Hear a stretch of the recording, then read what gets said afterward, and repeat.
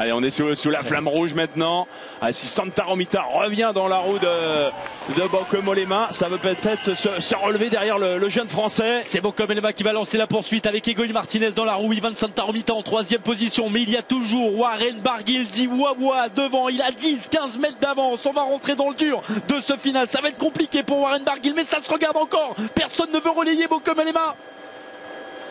Et oui, là maintenant, on va se, se regarder.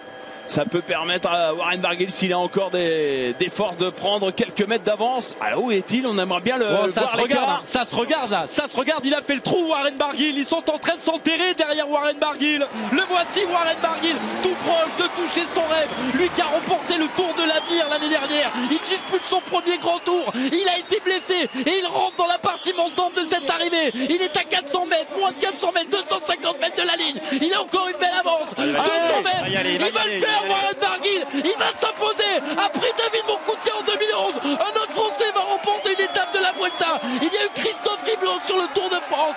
Warren Barguil en finit. Warren Barguil va gagner, les amis. Victoire française aujourd'hui sur la 13e étape de la Vuelta, sous les yeux de son prédécesseur David Moncoutier.